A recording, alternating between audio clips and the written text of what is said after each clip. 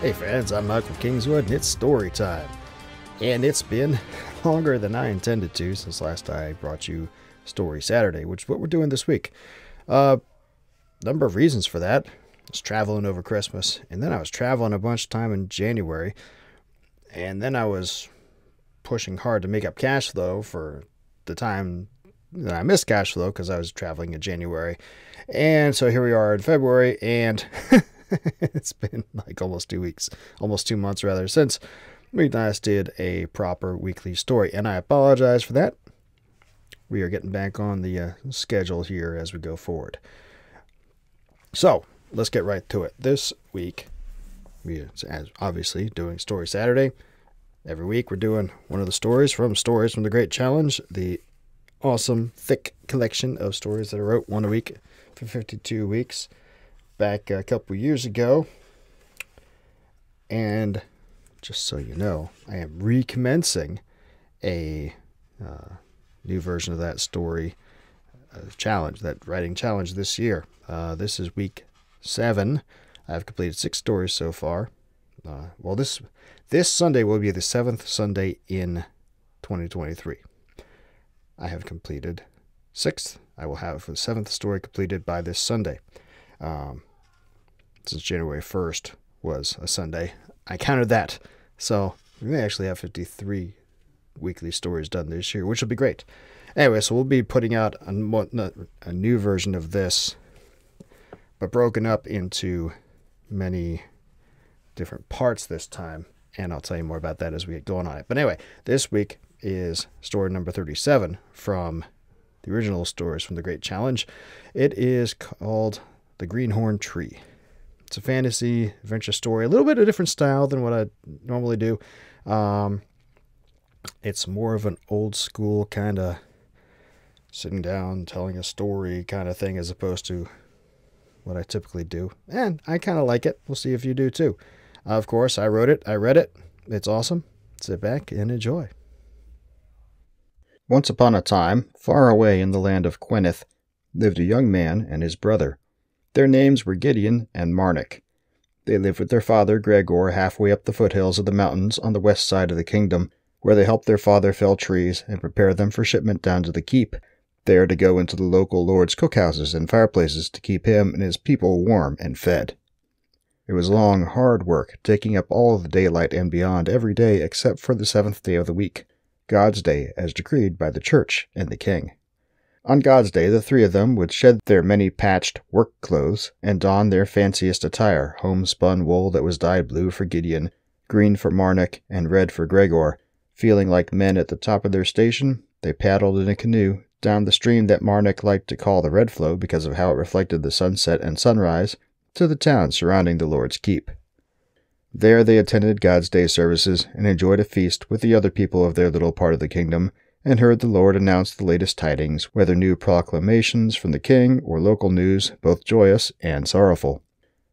Then, as the sun was nearing the rooftops in the town, they would get into the little canoe, feeling a bit less high in station compared to the townsfolk and especially the Lord, but nonetheless happy and refreshed from the experience, and paddle their way home. They kept up this routine for many years, and Marnik and Gideon grew to fully be men in their own right, strong and taller even than their father. When they came to the keep for God's day services, Gregor smiled with pride as the eyes of the maidens among the townsfolk all zeroed in on his sons, and he knew they would soon start families of their own. But thoughts of grandchildren reminded him that the boys, the young men now, Mother would never see those younglings, and Gregor found the joy of the services and the feast much reduced. Then came the day that joy fled completely. At the conclusion of God's day feast, instead of the Lord taking the stage at the head of the lined up tables that were laid out in the town green for the day, the Lord's chancellor stood up to speak. A murmur of surprise went through the crowd, and Marnik, Gideon, and Gregor traded surprised looks. The chancellor had never spoken to the people before, in all of memory, only the Lord ever took the stage. If not for the golden chain that marked his station, Gregor and his sons would not have known who the Chancellor even was. Lord Kendrick has taken ill, said the Chancellor.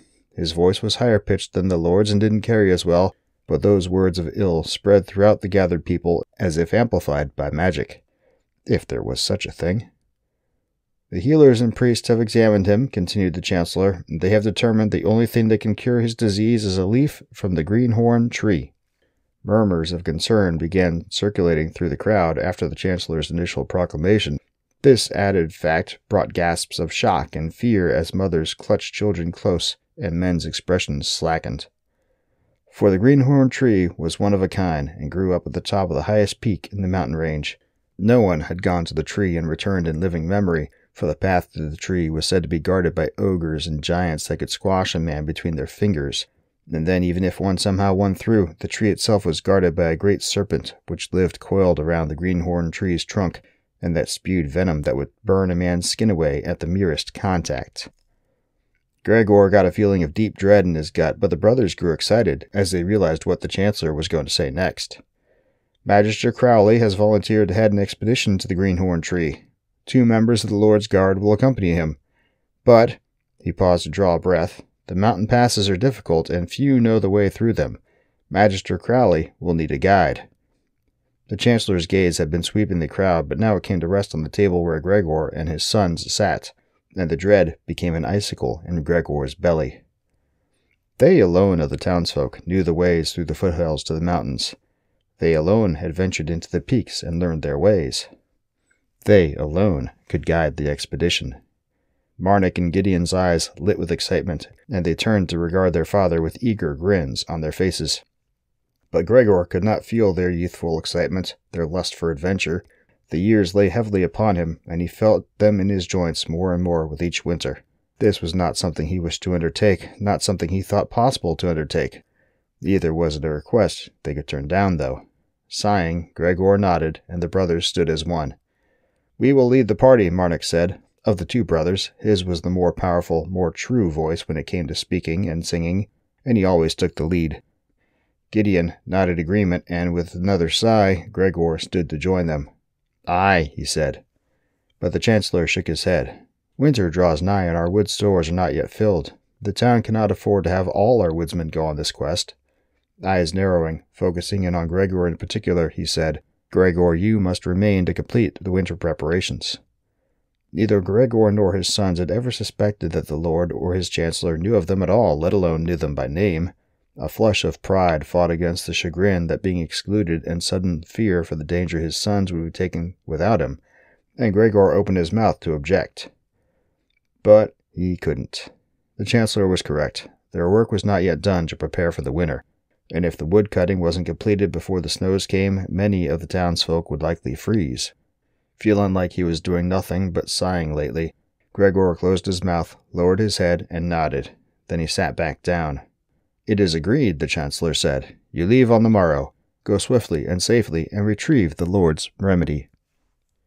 Gregor bid his sons farewell and paddled home in his canoe, his heart filled with trepidation over the perils they would soon face, but also with pride over their willingness to face them head on and in the people's trust in them. But the worry overcame the pride, and he could not sleep that night. He imagined it would be that way every night until they returned. The brothers, though, thought little of the dangers ahead. They spent a heady evening basking in the townsfolk's adoration and well wishes, particularly of the maidens among the townsfolk, and then stayed the night in the Lord's Guards barracks. It was the first time they'd slept anywhere except for their father's cabin or in a campsite up in the mountains, so although the soldiers' barracks does not list up among the most luxurious of lodgings, to them it was like being in a whole new world. A good new world. They awoke early, as was their norm, but found the soldiers already up and about, getting ready for the morning's exercises, followed by the day's routine. Magister Crowley was tall, taller than either of the brothers, but skinny, like a man who had never had to lift anything heavier than a book. Or maybe two. He wore the long, flowing crimson robes of his office in the Healers Guild, and had a small pack on his back, and sure enough, a book tucked into his belt. His hair was gray but long, flowing down his shoulders and halfway down his back, and braided on the sides to run down his chest. His beard was long as his hair, and braided to match those of his hair. He had a little red headpiece perched atop the top of his head, and his eyes squinted like he was trying to focus on something directly in front of his nose. The Magister met them out front of the soldiers' barracks when Gideon and Marnik emerged in company with the two soldiers assigned to the quest. They were Damson and Corald, and they could not have been any more different from the Magister. Lean with corded muscle, Damson of a height with the brothers, and Corald a hand shorter than them, they had the bearing of men who had seen rough business all their lives and would not hesitate to mete it out. Their breastplates were polished to a mirror sheen, and the leathers of their greaves and breecers were stained purple to match the Lord's heraldry. Their helmets were open faced except for a bit of steel that came down in front of their noses, and they each bore a broadsword on his left hip, a long dagger on his right, and a round shield slung on his back. Gideon and Marnik were not fighting men, but they each had their long knives, and they knew how to use a bow from hunting game for food at home. So the barracks had issued each of them a bow and a quiver of arrows. But next to the two soldiers, both brothers felt naked when it came to weapons. The magister looked out over the four of them and nodded, then without another word turned and set out for the western gate out of the town. There had been talk of taking horses, but Gideon and Marnik didn't know how to ride, and anyway, a horse would be useless after a couple days when the mountain passes began to grow steep. So instead they walked, each man carrying his own pack and rations, and Gideon and Marnik still in their God's Day best woolens. The passage was easy at first, and familiar to the brothers, as they ascended the foothills, not too far from where they lived and worked with their father. The forest had begun to change into autumn colors, and everywhere was yellow and red and orange as oaks and maples prepared to shed their leaves for the winter pines and cedars mixed in here and there as well, islands of green in the ocean of color.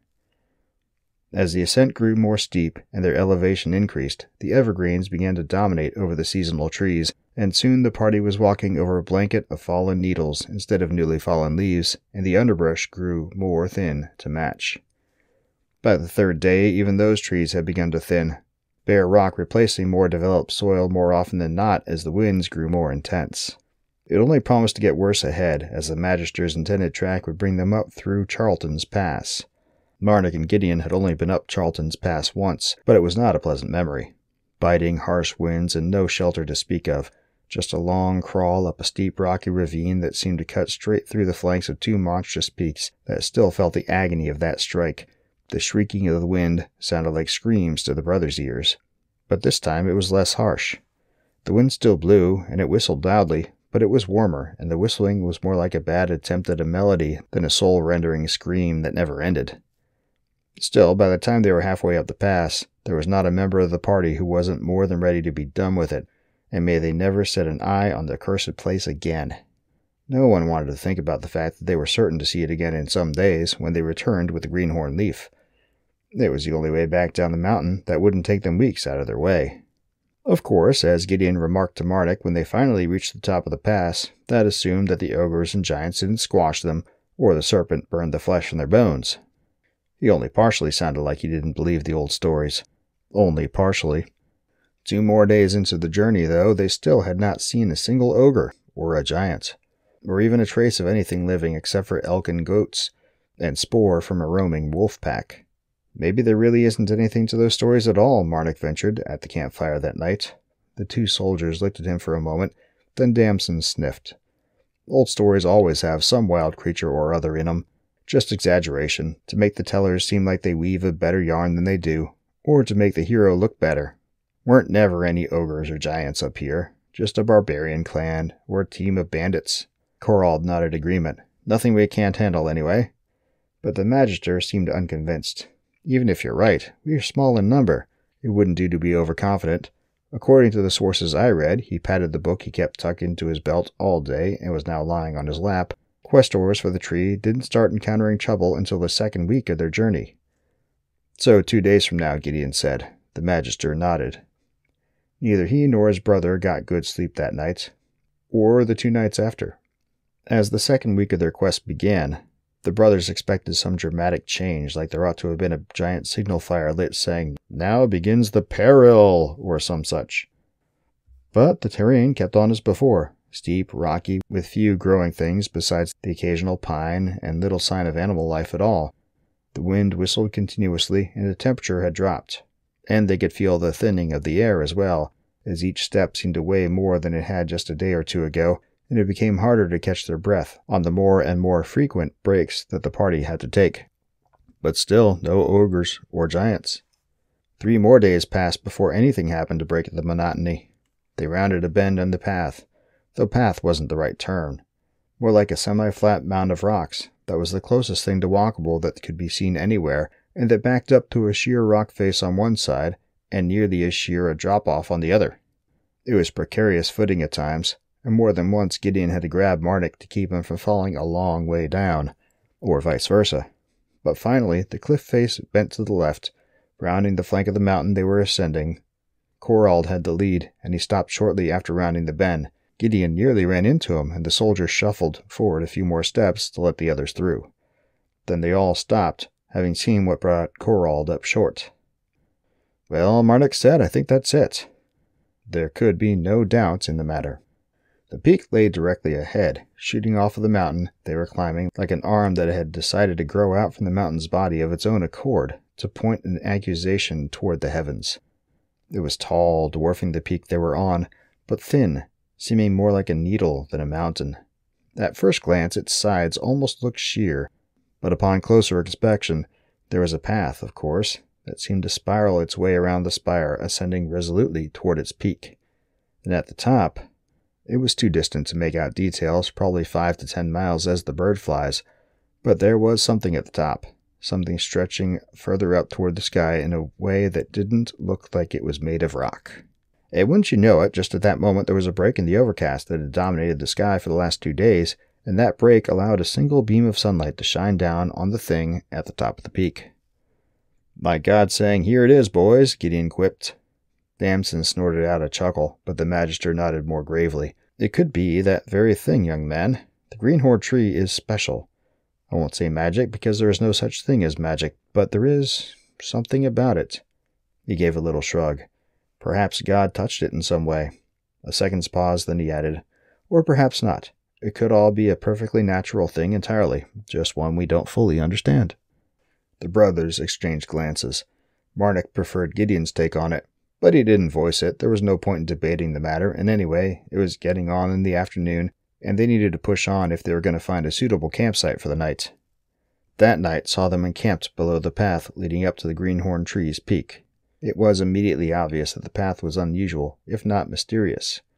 It wasn't a staircase, just stones arranged haphazardly in a way that almost but not quite resembled a pattern that almost but not quite looked like it might be a set of spiraling stairs if you looked at it in exactly the right light and after a tankard or two of ale. Clearly not stairs. And yet, neither brother could shake the resemblance from their minds, and from the way the other party members eyed the trail as they set up camp and cooked dinner and the way everyone resolutely did not talk about it around the campfire, everyone else saw it as well. Saw it and wondered how could such a structure have occurred in nature? And if it hadn't actually been naturally made, who made it and why? And if someone made it, had someone planted the greenhorn tree there intentionally? Maybe created the greenhorn tree as well? Who? And why? Gideon went back to God in his musings why would the divine interject to put such a remedy on the world and make it difficult to attain? But Marnik was not so sure. He couldn't rule God out, but it'd have to be him? Wizards were not real, at least not now, but what if they had been real some time in the past? Or perhaps there was a more mundane explanation. Someone had discovered the tree and set about building a path to make it easier to reach, not harder. Any of those were probably true, or none of them.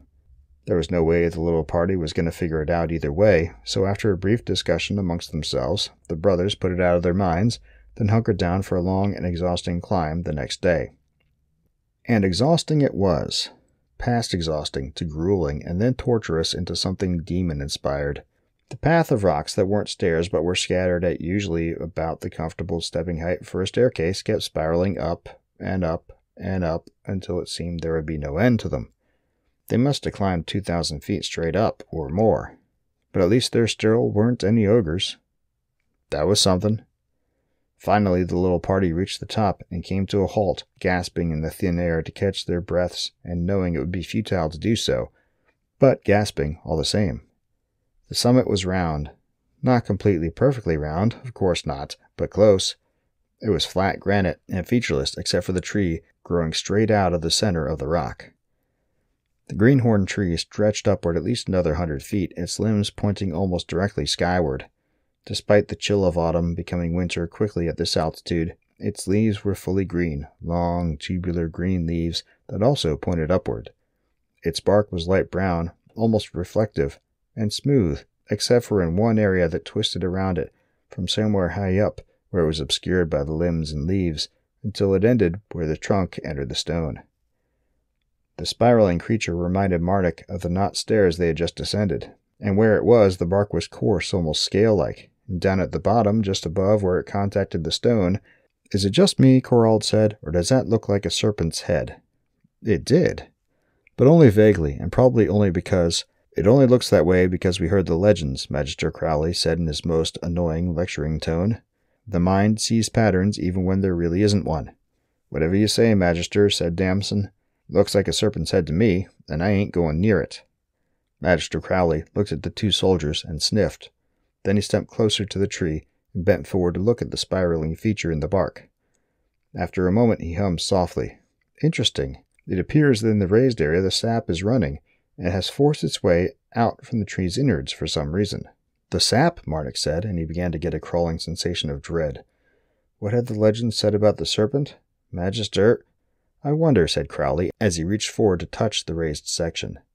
He began howling the second his left hand touched the raised bark. He recoiled immediately, but his scream only intensified as vapor of some kind began rising from his hand, the fingers of which had begun to curl and blacken. The sap, Gideon said, it's burning him. He rushed forward, in time with Damson, who was reaching to unstopper his waterskin. Gideon reached him first, and seeing Damson's plan, held the magister by the shoulders to keep his hand outstretched. The magister's howls continued, but his eyes widened when he saw the soldier approaching with water. No, he began, then Damson upended the waterskin over the stricken hand and squeezed.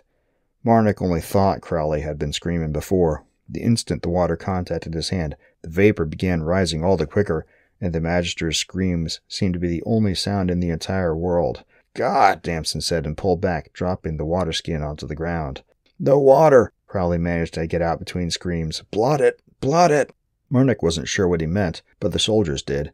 In moments, they had cloths from their medical kits out and were dabbing at the stricken hand, removing the water and what of the sap they could without smearing it. Finally, after what seemed forever, and after many scraps of clothing began being eaten away by whatever that sap was, they got the worst of it under control, and they set to wrapping the magister's hand in a bandage. Marnik couldn't look away. The hand wasn't charred like it had been burned with fire. It was more like melted. He felt a sympathetic pang in his lower belly and groaned as he saw the wound and imagined the agony of it. But Crowley held through better than either Marduk or Gideon would have suspected. After the initial shock of the assault wore off, he was able to keep his wits about him and instruct the soldiers in the proper way to apply the bandage so it would do its job correctly. And then, after they had seen to him as best they could, the party looked back at the tree, now far more menacing than it had been at first. Cutting a tree off is going to be tricky, Gideon said, no one expressed disagreement. The sap was a big part of the problem, but it wasn't the entirety.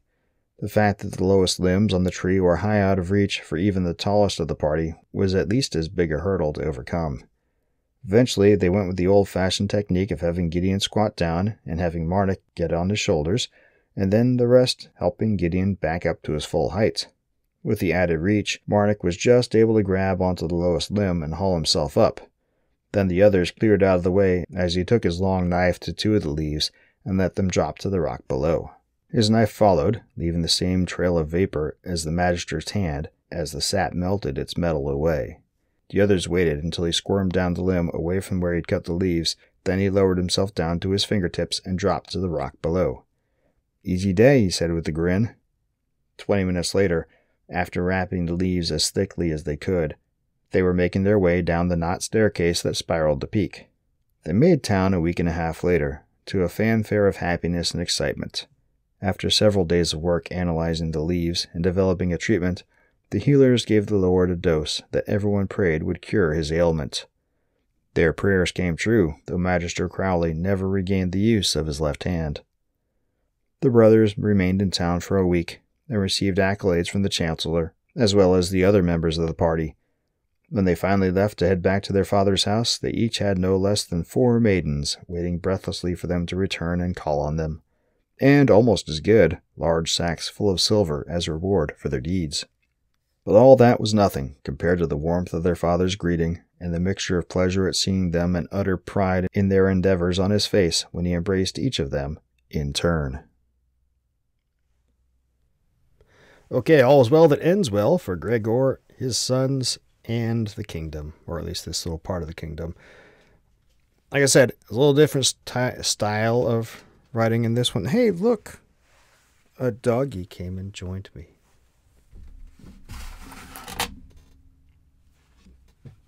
Say hi. Say hi, little girl.